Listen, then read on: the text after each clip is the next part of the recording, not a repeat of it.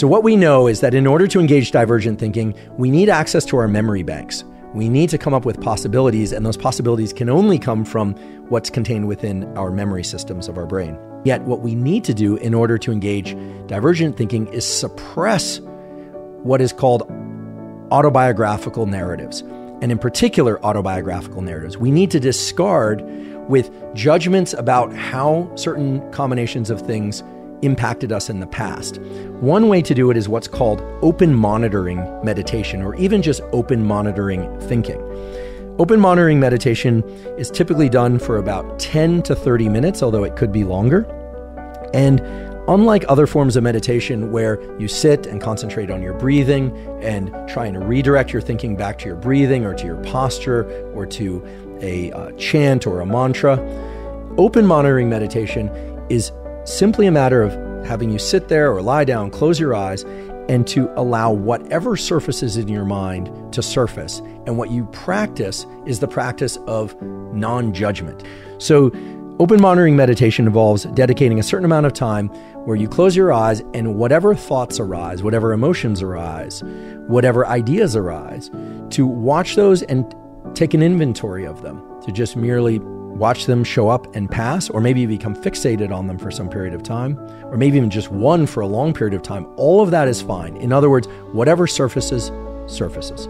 That's open monitoring meditation. And that we know from brain imaging studies, and we know from measurements of dopamine in particular brain circuits, and we know from people who train with open monitoring meditation on a regular basis improves divergent thinking capability. And what people find is that they very quickly, within a few days, get better at doing open monitoring meditation. And fortunately, within just a few days, and certainly within about a week or more of practice, people become significantly better at divergent thinking. And that's because of the dopamine circuits, and in particular along the nigrostriatal path pathway becoming more active. And the wonderful thing is that when you repeat a practice and a particular neural circuit is engaged over and over again deliberately, that neural circuit becomes easier to engage, so called neuroplasticity. I would encourage any of you that want to explore the creative process for whatever reason or get better at the creative process, dedicate some amount of time, maybe even just five minutes every other day, to doing this open monitoring meditation. Now, the convergent thinking meditation is the so called focus attention meditation, which you can think of, or I'd prefer that you think of just as a perceptual exercise, involves sitting or lying down, closing your eyes, focusing either on your breath or some element of your body. Could be, um, you know, the tops of your knees or the clasp of your hands. It could be focusing on an auditory tone. You could even do it eyes open and stare at a, a point on a wall or a flame of light. whatever it happens to be that allows you to redirect your focus to a particular location or idea or sound.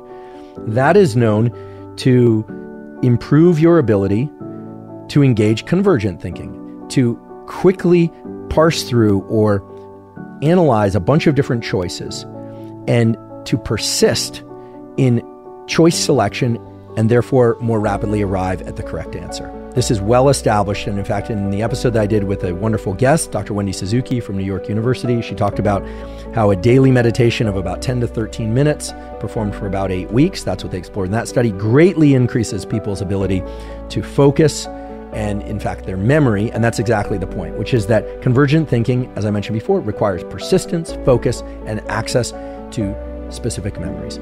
So, if you are somebody who wants to get better at focusing, that is the meditation for you. If you are somebody who wants to get better at divergent thinking and convergent thinking, the two elements of creativity, that is, I would encourage you to do a dual meditation. That is, a meditation that starts with open monitoring for maybe five to 10 minutes, and then transitions to focused attention for maybe five to 10 minutes. Because the positioning of divergent thinking and then convergent thinking close together more closely resembles what the creative process really is.